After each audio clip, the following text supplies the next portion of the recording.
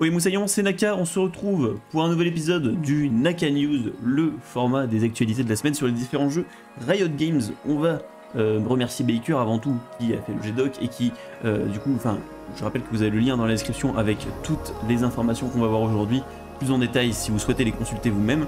On va partir vite fait sur le petit planning de stream de la semaine, euh, où je serai en stream bah, quasiment tous les jours, sauf lundi.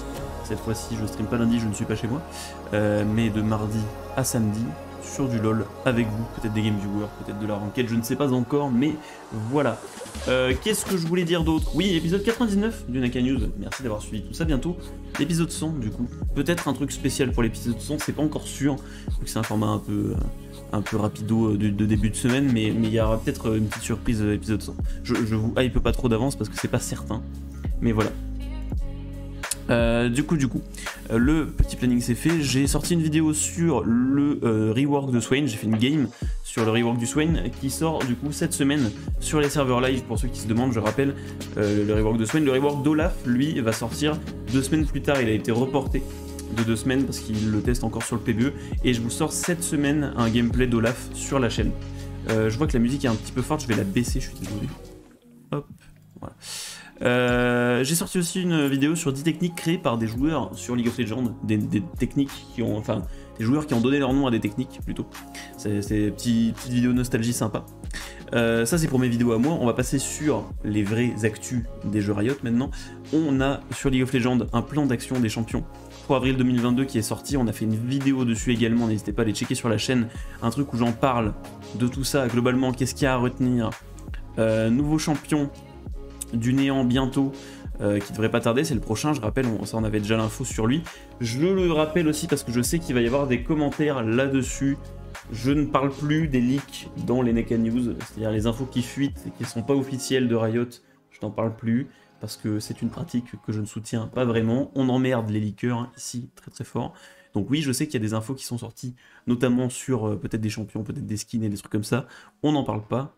Euh, dans les Naka News. Mais voilà, donc en tout cas dans l'article, on a le nouveau jungler du néant qui devrait pas tarder. Euh, ensuite, un autre champion qui ressemblerait être de Bilgewater. Euh, le rework du Dir qui avance bien, donc ça c'est le skin gardien des esprits. et un, nouveau type de rework pour Aurélien Sol. Enfin bref, tout ça j'en parle dans ma vidéo et il parle un petit peu voilà, du rework de Skarner et d'un autre perso de Shurima qui devrait arriver après le rework de Skarner, donc ça sera dans longtemps. Euh, mais voilà, donc on, parle de tout ça dans la vidéo directement, vous avez le lien ici, c'est sur ma chaîne si vous n'avez pas encore vu cette vidéo là, vous pouvez aller la checker, n'hésitez pas. Euh, on a un autre article, Pensez sur le gameplay, où il nous parle de euh, l'EHJ. C'est quoi l'EHJ C'est l'équipe d'analyse du jeu. en gros, c'est une équipe de testeurs qui teste euh, le jeu, qui analyse les méta, par exemple, comment il faudrait qu'un champion soit qui va discuter après avec les équipes de, balance, qui vont faire les patchs, euh, ceux qui vont faire les, euh, les nerfs et les buffs, ceux qui vont faire les nouveaux champions, et trucs comme ça. Et ils expliquent ce que c'est que cette team, si un jour ça peut vous intéresser de la rejoindre. Globalement, en général, c'est des gens qui sont assez forts au jeu, donc des masters, etc. Mais pas forcément, ils l'expliquent dans cet article. Donc si ça vous intéresse, vous pouvez toujours le lire et, et voir si potentiellement un job chez Riot peut vous intéresser dans cette équipe un de ces jours, je ne sais pas. Euh, alors, les skins EDG arrivent également. Désolé pour cette petite pause, je vais vérifier que ça recordait bien. Euh, il y a eu, alors pour le coup là, il y a eu des leaks. Il y a eu des leaks euh, des skins EDG. EDG, e donc c'est Edward Gaming qui avait remporté les Worlds, je rappelle, en 2021. Il y avait eu cet artwork qui avait leak, du coup Riot l'a posté officiellement. Euh, un peu plus tard. On n'a pas encore les modèles 3D, du coup, vu qu'ils devaient sortir en même temps que les leaks, probablement. Enfin, en même temps que l'artwork officiel. Et vu que l'artwork officiel a été avancé à cause des leaks, voilà, c'est encore un, des problèmes qu'ont les leaks. Mais donc voilà, on a Viego, Aphelios, Yumi. Euh, les gens qui doivent être très contents de voir un skin sur Yumi. Alors, à savoir que. Euh, donc voilà, Graves, Zoé aussi. Et à savoir que Yumi, pour le coup, le, skin de Yumi, les, couleurs qu'elle a, sont inspirées du chat d'un des joueurs. Je ne sais plus lequel c'est, je suis, euh, je suis très mauvais en, euh, en, e-sport et en, storytelling e-sport, donc je ne sais plus quel joueur d'Edward Gaming a euh, un chat qui ressemble à Yumi. Mais, mais voilà, il y a un délire comme ça. donc c'est mignon. tac tac tac, donc ça c'est pour League of Legends. Le PBE, on a la patch preview aussi qui est sorti. Encore une fois, on n'a pas les détails, détails de tout ça, mais c'est un gros patch, c'est le patch des MSI, donc il va y avoir un tournoi, je rappelle, on a des MSI sur ce patch, euh, donc il y a des buffs pour pas mal de choses, il y en a qui, sont, qui ont été annulés, je crois déjà. Mais, voilà, euh, on fera du coup une patch note en détail cette semaine, quand ça sortira, pour que vous restiez au courant, avec notamment du coup le rework de Swain, tout ça, il y a des buffs sur Silas, des trucs comme ça. On a aussi sur le PBE une texture d'un skin du dir qui est arrivé, qui a été mis dans les fichiers du jeu, donc euh, le, problème c'est que c'était au départ c'était sur une texture de Ludir actuelle donc ça rendait très moche. Euh, je sais pas si on peut le voir là. Non, on peut pas le voir là. Mais euh, voilà. voilà du coup à quoi devrait ressembler un des skins, enfin le skin ceinture noire du dir. Alors c'est une ébauche encore. Hein. À mon avis c'est encore vraiment un tout début d'ébauche. C'est pas très beau. Parce que c'est pas très beau. Honnêtement alors le, skin ceinture noire de dir actuel, ça va être un des skins les plus dégueulasses qui existent sur League of Legends. Celui-ci, bon, vu que c'est sur un nouveau modèle 3D et tout, ça va, mais il est quand même pas très joli. Donc en vrai, s'il pouvait en faire quelque chose d'un peu mieux que ça, je pense que voilà, de toute façon, les textures sont pas encore. Euh, les mains du dire sont un peu bizarres et tout. Donc les textures sont pas encore euh, faites correctement, on va dire. Mais euh, voilà, c'est juste parce que ça, ça, avait pop sur les fichiers du jeu, du PBE. Du coup, ça pourrait être marrant d'en parler. je voulais que j'avais oublié de dire à Baker de mettre la version buggée du skin, mais c'est pas grave parce qu'il y avait une version buggée qui était marrante. Euh, Teamfight Tactics, on a une vidéo euh, quand utiliser Draven en carry avec voilà des conseils tactiques. Le championnat de Teamfight Tactics euh, Gadget en folie arrive, donc il y a une vidéo qui annonce le championnat du monde avec une petite, des petits pingouins qui dansent, les petits pingous. c'est quand La date exactement, le 29-30 avril et 1er mai à partir de 11h CEST. Alors CEST, je crois que c'est chez nous, non? J'imagine que, hein, vu que c'est League of Legends France, ils ont dû mettre notre horaire à nous. Euh, mais voilà. Donc ça va être sympa. Donc c'est 64. Euh... Qu'est-ce qu'il y a 64 pouces? Ah non, c'est pas 64 joueurs. 32 joueurs, voilà, 32 joueurs. Tournoi à 32 joueurs. Hop, je sais pas combien il y a de Français, mais j'espère que la France. Je crois que la France avait remporté l'année précédente le, les mondiaux de TFT. Donc c'était bien, bien vu de leur part. Maintenant, la patch preview de Legends of Runeterra, je crois qu'il y a pas mal de changements. Euh, c'est la première fois qu'ils font une patch preview sur Legends of Runeterra. Euh, euh, avant ils faisaient pas d'image comme ça, mais là c'est cool. Donc ils nous donnent, même si on n'a pas les détails, on sait qu'il va y avoir des nouvelles cartes pour la, puissance du détachement, des nouvelles cartes Udir, des nouvelles cartes Glory.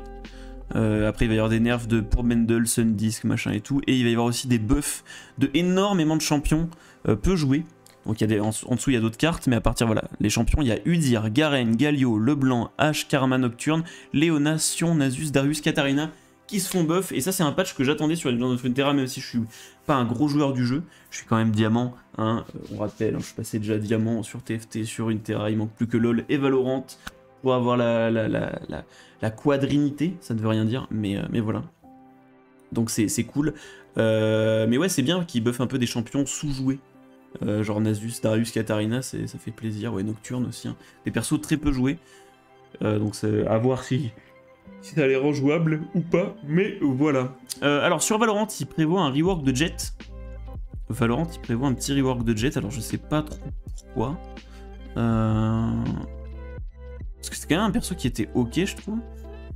De conserver son agressivité au maximum, mais de réduire ses capacités défensives à l'opérateur. Donc globalement un nerf, quoi. Ok. Bon, globalement, ce serait une sorte de, nerf, j'imagine. À l'intérieur de la boucle tactique en exigeant qu'elle prévienne son équipe avant d'attaquer grâce à cette fenêtre d'hypermobile. Bon, je sais pas trop, ça vous intéresse, ce truc-là? Moi, pour le coup, j'ai pas, pas lu tout ça. Mais ouais, apparemment, bah, de ce que j'ai compris, c'est plutôt un nerf hein, qui veulent faire. Euh, il y a aussi le reveal de Fade, nouvel agent Valorant, qui est très stylé. Euh, voilà, qui nous vient de Turquie apparemment dans le lore de, de Valo on avait déjà parlé. il y a eu le euh, trailer, la bande-annonce, que je vais peut-être pas... il y a peut-être de la musique, alors je peux pas te mettre ça en, très grand, mais on peut, on peut réacter un petit peu. Voilà, ça, se passe à Istanbul, évidemment. Euh, et, c'est stylé, alors je sais... J'aurais tendance à dire que c'est fait par Fortiche. Hein. Est-ce qu'on a le studio d'animation? Non, ils l'ont pas mis.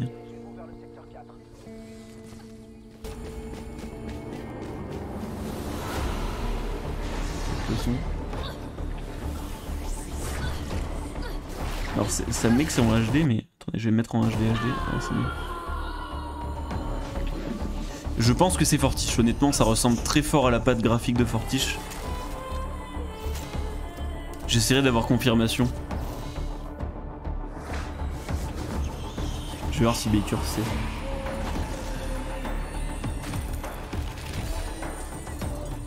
Désolé pour le micro. Mais en tout cas, ouais, c'est stylé. Hein.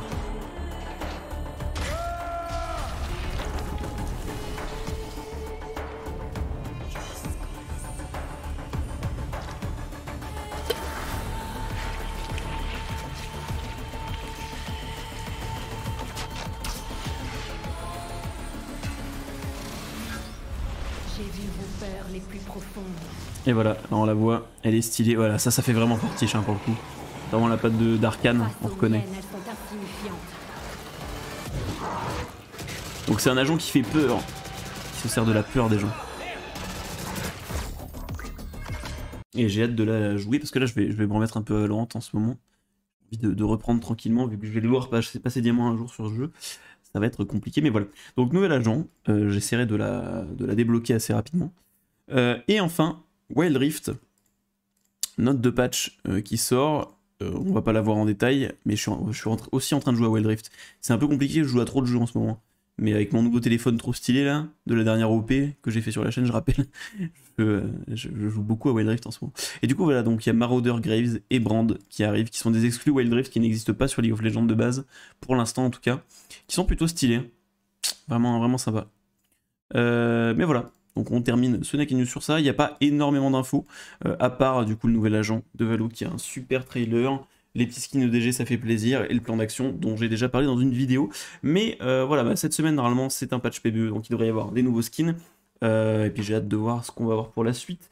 Parce que si le jungler du néant approche, on peut potentiellement hein, toujours espérer un event sur le néant avec, je rappelle, il y a eu le, changement de splash art de Cassadin, toujours pas de changement de modèle 3D pour Cassadin. Euh, il y a eu un buff de Cassadin par contre qui arrive là aussi, je crois. Euh, donc ce serait bien, ce serait bien un petit peu d'avoir un peu des trucs euh, sur le néant qui, pop. Moi j'aimerais beaucoup un event sur le néant, même si je me fais pas trop non plus de, comment s'appelle? De hype pour rien. On, on, verra bien, on verra ce que Riot nous prépare pour cette année. J'espère qu'il y aura un event stylé. Voilà, voilà, euh, n'hésitez pas à liker la vidéo si ça vous plaît. Merci encore à vous tous de suivre les Naka News euh, quotidiennement, ça me fait très plaisir. J'espère que vous passerez une bonne journée, une bonne semaine. Et sur ce, je vous dis à plus et je flash out. Ciao